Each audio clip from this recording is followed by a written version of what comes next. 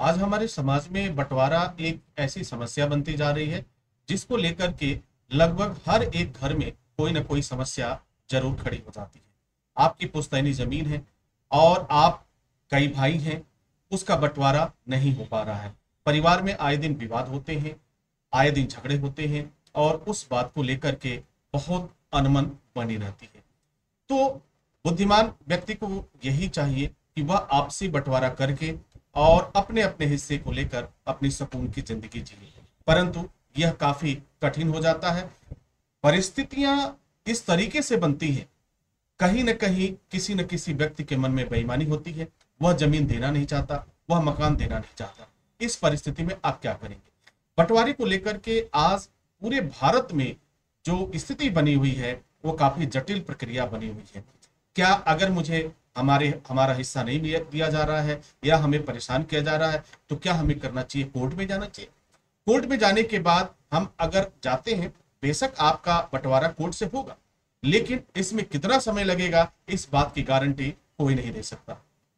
वजह बहुत साफ़ है, क्योंकि कोर्ट की एक प्रक्रिया होती है, कोर्ट प्रोसीजिंग जो होती है, उसका एक अपना अलग सिस्टम होते हैं, वो तमाम एविडेंस होते हैं, उनके आधार पर कोर्ट अपना निर्णय देती है। बेशक कोर्ट जो अपना निर्णय देती है, वह एक बेहतर निर्णय होता है, एक अच्छा निर्णय होता है। लेकिन यदि आप चाहते हैं कि आपको बगैर कोर्ट जाए हुए आप अपनी संपत्ति का बंटवारा कर ले, अपनी पुस्तैनी संपत्ति का बंटवारा कर ले तो निश्चित रूप से आप कर पाएँगे। इस वीडियो में मैं इसी बात पे चर्चा करूँगा और आपको बताऊँगा, वो रास्ते बताऊँगा, उनके वजह क्या है और कारण क्या है, ये सारी बात मैं आपको बताऊँगा। Dear students and my dear friends welcome back once again मैं हूँ डॉक्टर वेद और आज जो मैं बात कर रहा हूँ वो बंटवारा। मैं आपको इसमें बंटवारा अधिनियम के बारे में भी बताऊँगा जो इंडियन एक्ट बंटवारा अधिनियम है। उसके अलावा भी कुछ ऐसे तरीके हैं जिन्हें आपको जानना चाहिए। यदि आप अपने परिवार से परेशान हैं आप, आप अपने फैमिली परेशान हैं कुछ व्यक्ति ऐसे हैं जो बंटवारा तो चाहते हैं लेकिन कुछ ऐसे व्यक्ति हैं जो बंटवारा नहीं चाहते क्योंकि कहीं ना कहीं उनकी नीयत सही नहीं है कहीं ना कहीं उनकी नीयत में खोट है। तो हमें क्या करना चाहिए? सबसे पहला काम तो आपको यह करना चाहिए कि आपको एक लीगल तरीके को अपनाते हुए आप जो है बंटवारे की की पैरवी करें और सबसे पहले आप जितने भी हिस्सेदार हैं, उस ज़मीन के, उस मकान के जितने भी हिस्सेदार हैं, सबसे आप बात करें कि भाई हमारे परिवार में कुछ न कुछ विवाद हो रहा है और विवाद करने से कोई फ़ायदा नहीं। हम अपनी स्वेच्छा से ही अलग हो जाते हैं और जो भी हमारे हिस्से की ज़मीन बनती है, मकान बनता है, उसे हम बराबर बराबर बांट लेते हैं। यह बात आप करेंगे, बेशक आप जैसे ही बात करेंगे, कुछ लोग आपकी बात का समर्थन करेंगे और कुछ लोग बात का समर्थन नहीं करेंगे। बात का समर्थन वह व्यक्ति करेगा जो वास्तव में परेशान होगा। लेकिन जो व्यक्ति परेशान नहीं है, उसे लाभ मिल रहा है, वो कभी समर्थन नहीं करेगा। दूसरा दूसरा कंडीशन आता है कि अगर किसी व्यक्ति के मन में बेईमानी आ गई, जैसे मान लीजिए कि आप चार भाई हैं, और चार भाई हैं, तीन भाई बंटवारा करना चाहते हैं, और चौथा भाई बंटवारा नहीं करना, करने, देना चाहता, वो तमाम बातें करता है कि भाई जब तक पिताजी हैं तब तक नहीं हो सकता, जब तक माता जी हैं तब तक नहीं हो सकता। बंटवारा नहीं हो सकता, सर। लेकिन घर में झगड़े रोज होंगे। झगड़े होंगे बहुएँ आपस में लड़ेंगी, औरतें आपस में लड़ेंगी, मारपीट होगा, आप थाने में जाएँगे, मुकदमा लड़ेंगे, ये सब जायज़ है। लेकिन वह बंटवारा जायज़ नहीं है उनके नज़र में, क्योंकि उनके मन में बेईमानी है। उनके नियत उनकी जो नियत है, उसमें कहीं ना कहीं खोट है। वो बंटवारा नहीं होने देना चाहते। अब आप इस परिस्थिति में क्या करेंगे, वो मैं आपको बताता हूँ। सबसे पहले अगर आपसी बातचीत हो जाती है, अगर उसके बाद भी वो नहीं मानते हैं तो आपको एक कानूनी कार्रवाई लेके चलना होगा, जिसमें आपको किसी वकील की भी आवश्यकता आवश्यकता नहीं पड़ेगी। आप खुद ब खुद कर सकते हैं। एक लोग एक लिखित जो है, आप एक नोटिस बनाए और नोटिस एक लिखित सूचना का आधार आप कह सकते हैं कि ये मैंने सूचना दिया कई बार लोग कहते हैं कि भाई, हमें तो मालूम ही नहीं कि बंटवारा हमारे यहाँ होना है। हमें तो पता ही नहीं है। ये लोग कहते तो मैं कई बार बंटवारा कर देते। क्योंकि जब कोर्ट में मामला जाता है तो उस समय पूछा जाता है, देखा जाता है कि क्या आपको इस बंटवारे के बारे में जानकारी थी? क्या आपको इस मामले का यह मामला आपके संज्ञान में था? तो बहुत से ऐसे लोग हैं, बड़ी सात्विकता से कह देते, नहीं सर, हमें तो पता ही नहीं। हमें तो आज पता चला है। हमें तो तो इन सब चीज़ों से बचने के लिए आपको सबसे पहले क्या करना है? एक लीगल नोटिस बना करके आप सबको उनके एड्रेस पे, अगर वो है वहाँ पे तो बाई पोस्ट भेजिए ताकि उनके रिसीविंग हो जाए। वह देखिए, एक एविडेंस का काम करेगा। मैं मानता हूँ कि इसके इतना करने से बंटवारा तो नहीं हो पाएगा, लेकिन ये लिखित सूचना कल को इनकार नहीं कर पाएँगे कि हाँ बंटवारे वाली बात चल रही थी। और उसमें जो ग्राउंड आपको बनाना है, उसमें ग्राउंड पहला ग्राउंड कि भाई हमारे परिवार में आए दिन झगड़े हो रहे हैं। हमारे आपसी फैमिली में बन नहीं रही है। कई बार क्या होता है कि इसमें कुछ फैमिली जैसे कि दो जगह रहती है। पहली फैमिली जो है, जैसे मान लीजिए कि चार भाई हैं तो दो भाई एक स्थान पर रह रहे हैं और बाकी दो भाई कहाँ रह रहे दो बाहर रह रहे हैं। कोई बंबई में रह रहा है, कोई दिल्ली में रह रहा है, कोई मद्रास रह रहा है, कोई कलकत्ता रह रहा है। तो भाई, जो बाहर रह रहा है, उसे तो कोई परेशानी नहीं है, क्योंकि वह अपना नौकरी कर रहा है और आराम से रह रहा है। लेकिन जो घर में रह रहे हैं, उनमें कहीं ना कहीं लेकर के किसी बात को लेकर विवाद होता है। और ज़ाहिर सी बात है, हर आदमी की प्राइवेसी है, हर आदमी का अपनी लाइफ स्टाइल है, हर आदमी अपना जीना चाहता है। और कोई इसमें दखल अंदाजी दे, ये बिल्कुल ही बर्दाश्त नहीं हो पाता है। क्योंकि अगर चूल्हे अलग जल रहे हैं, सारे खाने सबका अलग अलग खाना बन रहा है, चूल्हे अलग जल रहे हैं, सब लोग अपनी कमाई कर रहे हैं तो सर बंटवारा तो उसी दिन हो गया, जिस दिन आपका चूल्हा बंद हो गया। जब परिवार का खाना एक में जिस दिन बंद हो जाए, आप समझ लेना कि उसके बाद आपको विलंब नहीं करना चाहिए, आपको जरा भी देर नहीं करनी चाहिए, पुस्तैनी ज़मीन हो या जो भी ज़मीन है, उसे बंटवारा करके सुख शांति से रहना चाहिए। बट कोई ये करता नहीं है। ये बिल्कुल नहीं करते, जब तक कि आपके यहाँ झगड़े ना हो, जब तक कि आप थाना न जाए, जब तक कि आप कोतवाली ना जाए, ये तमाम होता है। और सर, लोग समझते कम है? जब बर्बाद हो जाता है तब, जब उनके ऊपर मुकदमे हो जाएँगे। अब आप बताओ, जरा मारपीट करोगे, दो पक्ष है, दो पक्ष है, दोनों क्या है? आपस में भाई मारपीट करोगे।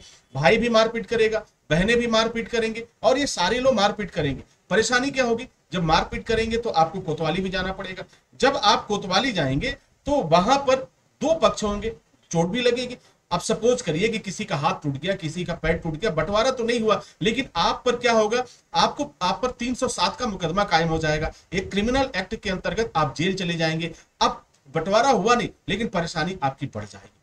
तो मैं आपको ये सलाह दूँगा कि कभी भी आप मारपीट न करें, कभी आप झगड़ा न करें। आपस में बैठ के बात करने का यही एक तरीका है जिससे आप सुलझा सकते हैं। ठीक है?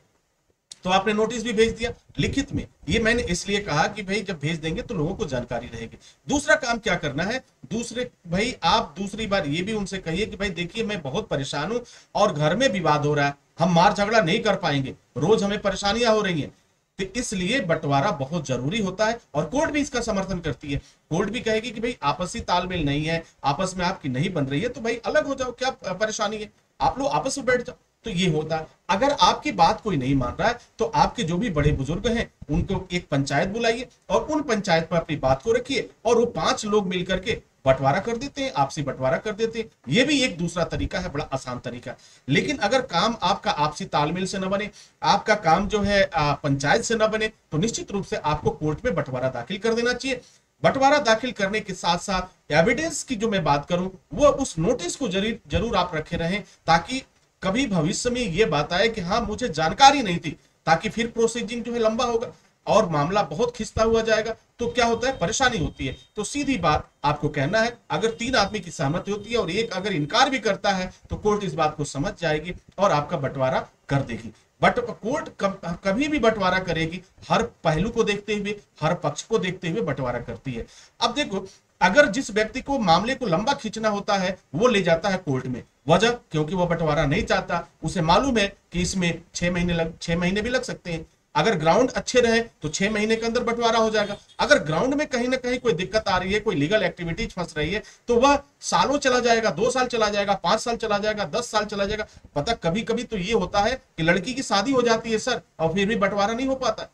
बीस बीस सालों तक मुकदमे चल रहे तो मैं आपसे यही सलाह दूँगा कि बेवजह की बातों में आप कोई भी ना फंसे। देखो, नुकसान आप ही का होगा। अगर आपस में आप लड़ोगे, मारपीट करोगे, नुकसान आपका होगा। अगर जो व्यक्ति ये सोच रहा है, जो व्यक्ति बंटवारे में परेशानियाँ खड़ा कर रहा है, अब मैं आपको बता दूँ, लास्ट में सबसे ज़्यादा उसको परेशानी होने वाली है, क्योंकि देखिए, उसका आपसे संबंध खराब हो जाएगा, कोई भी व्यक्ति उस पर भरोसा नहीं करेगा, और पूरी लाइफ में ये कड़वाहट बनी रहेगी।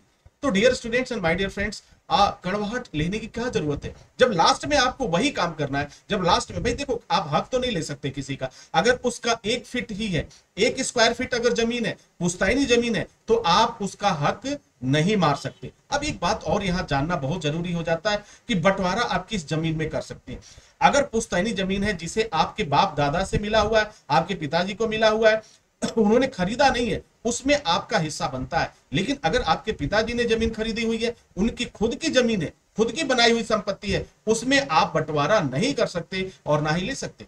और उसमें उस व्यक्ति को, यानी उस मालिकान हक को यह अधिकार होता है कि वो आपको बेदखल भी कर दे।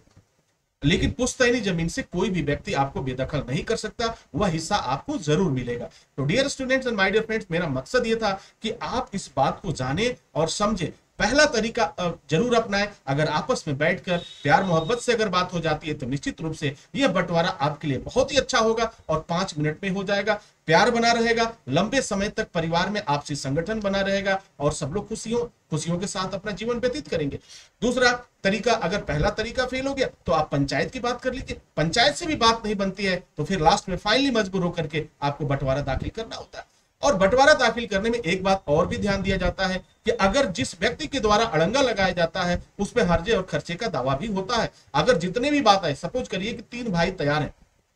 तीन भाई तैयार हो गए और तीन, एक भाई तैयार नहीं हो रहा। जो परेशान कर रहा है तो जो भी खर्चे आएँगे, वह इक्वली आपको देना पड़ेगा। उस खर्चे का खर्चे का भी वहन आपको करना पड़ेगा। तो फाइनली लास्ट में जाकर के जो व्यक्ति परेशान करता है, जो अड़ंगा डालता है, कोर्ट उसे समझ जाती है। बिल्कुल समझ जाती है, आप कितना भी छुपाएँगे, वो समझ जाएगी कि आपकी मनसा क्या है, आपकी नियत क्या है।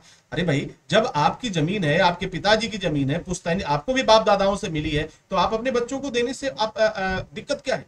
आप उसको दे दीजिए। आप क्यों परेशान करना चाहते हैं? ये तो अलग कहानी है कि भाई अभी जब तक हम ज़िंदा रहेंगे, नहीं बांटेंगे। अरे, ज़िंदा रहे तो ज़मीन तो आप नहीं बांट रहे हो, लेकिन चूल्हा अलग अलग हो गया। तो झगड़े को खत्म करने के लिए अगर चूल्हा आपने अलग कर दिया, खाना सबका अलग बन रहा है तो ज़मीन भी आपको बांट देनी चाहिए। अब ये झगड़ा लगाते हैं, या तो ये माता जी लगाती है झगड़ा, या तो पिताजी लगाते हैं। और तो और क्या होता है? सोने में सुहागा क्या होता है? अगर घर में बहने हैं तो वो भी आ जाती हैं, वो भी क्या झगड़ा लगाती है? वो कहती है क्या कि मुझे भी अब हिस्सा चाहिए, क्योंकि मामले को उलझाना होता है। जबकि ऐसा राइट नहीं है। बहुत से ऐसे कानून हैं, कानून है लॉ है, जो आपके आपके अधिकारों की सुरक्षा करता है। तो बहुत से लोग हैं, आजकल तो बहुत से लड़कियाँ जिनकी शादियाँ 20 साल 25 साल हो गए, वो भी आगे कहती हैं कि नहीं नहीं, मुझे भी इसमें हिस्सा चाहिए। वो भी एक विवाद का कारण बनती है। बहरहाल, ये ज़मीन बिल्कुल नहीं उनकी हो पाएगी, कभी नहीं हो पाएगी, चाहे वो पूरे जीवन भर लड़ाई लड़ ले, मुकदमा लड़ तो बहरहाल, मैं आपकी शुभकामनाओं के साथ आप अच्छे से रहें, कोई दिक्कत ना हो, कोई विवाद ना हो तो निश्चित रूप से आपको आपस में बैठ करके इस बात को सुलझा लेना चाहिए। क्योंकि कोर्ट कचहरी का जो मामला होता है, वो काफ़ी लंबा जाता है, खर्चीला भी होता है और काफ़ी पेनफुल भी होता है। Wish you all the best thank you for watching thank you for learning